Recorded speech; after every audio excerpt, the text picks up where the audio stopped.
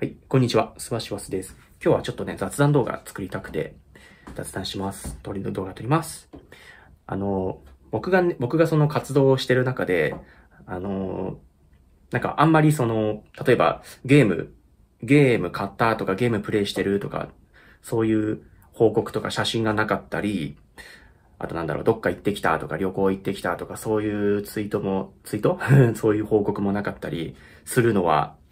あ、なんか、なんかその、こいつ、こいつなんかあんまお金使ってなさそうだなっていう雰囲気を醸し出してるのはなぜかというとですね、もう、もう僕な、もうほぼ10年、いや、10年じゃないか、8年、7、8年ぐらい、もうその物欲があんまりないんですよね。で、その理由をちょっと自分なりに探ってみたっていうか掘り下げてみたんですけど、まずその物欲を満たすにはお金が必要じゃないですか。で、その、そのお金を、その必要なお金を得るには、なんかその、いっぱい働かなきゃいけなかったり、何かしらその自分が、自分がその社会に対してこう、奉仕をしなきゃいけないじゃないですか。でもそれ結構僕、く、辛い、辛いんですよ。あんまりその、必死に働くとか、その、働くことだけに集中して、あの、一週、一日、一週間、一ヶ月、一日、一年っていう、その、その働くだけの日々はちょっと苦痛で耐えられなくて、もう下手すりゃ3日4日で、あの、値を上げちゃう、値を上げて逃げちゃうレベルの、ちょっと、そういう、まあ、まあ弱い人間なんですよ。で、なので、その苦労する、そういうふうに苦労して自分を消耗させて、させて、させてまでお金を稼ぐよりも、苦労するぐらいだったら、そもそも物欲を捨て、捨てた方がいいやっていう、物欲を捨てる方へ、あの、その決断というかね、決断がいってしまう、いってしまった結果、まあ長年、長年それで、あの、物欲が満たされてない状態にもう10年ぐらい慣れてしまって、それがもう当たり前みたいな感じなんですよ。と、そ、その結果どうなったかっていうと、あの、その、そんなにまとまったお金じゃなくて、まあ、それなりに安い、安いけど、でも自分のこの、自分のなんか満たされない心とか、その、なんか欲求を満たせる方法として、外食があるわけですね。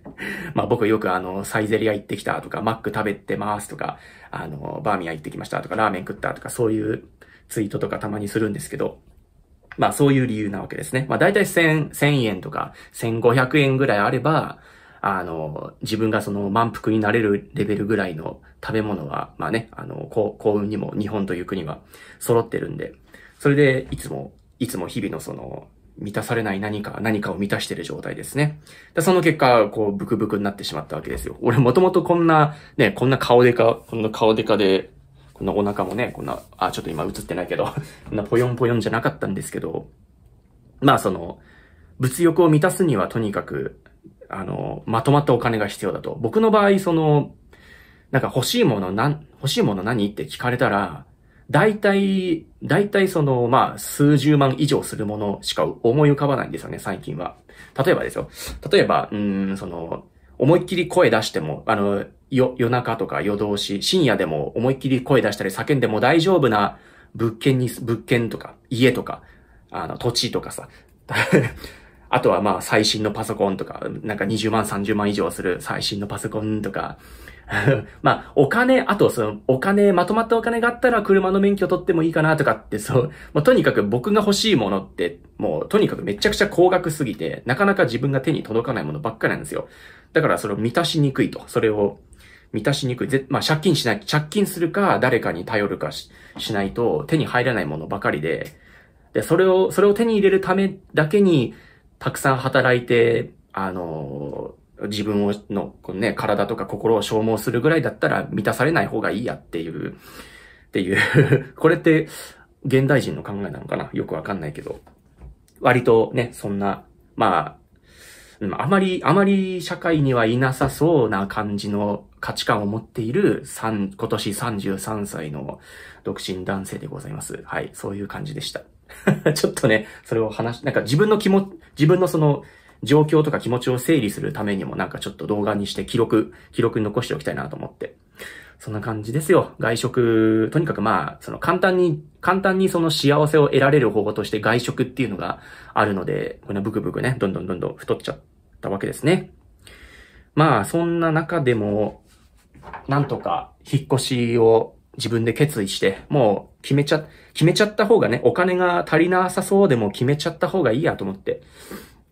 まあずっとね、ずっとその引っ越して、まあ地元に帰りたかったし、だそれだ、それが、それ一つその、まあ引っ越しも、あの、うん十万っていうお金が飛ぶ、あの、イベントなので、その、まあ、自分の中ではかなり珍しい、その、まとまった高額なおか、お金で自分の欲を満たすっていう、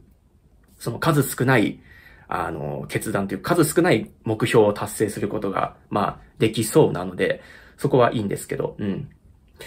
まあ、たまにね、ほんとまあ、ほんとこう、なんかそう、めちゃくちゃたまにしかできないっていう、このもどかしさね。だそういうのもあって、あのもっとその自分が幸せを得るには、得るにはっていうか、まあ、なんかね、常に笑、常に笑っていられるような人生を手に入れるには、やっぱり YouTube かなんかそういう動画活動で成功するしかないなっていう そう。なるべくたの、自分が楽しいことを苦じゃないことで、あの、稼げるようになりたいっていう欲求がずっとね、あの、芽生えましたので、2020年頃からね、芽生えたので、やっとスワシワスが誕生したわけですけども。まあ少しずつ俺の人生も動いてんのかなっていう気も、っていう、まあちょっとき、少し、少し希望が見えてきた感じですね。はい、そんな感じです。まあ一回ちょっとこれで、まあ物欲の話、なの、今日はしようと思ったので終わります。もしかしたらまた別の話題でまた動画アップするかもしれません。じゃあ、またねバイバーイ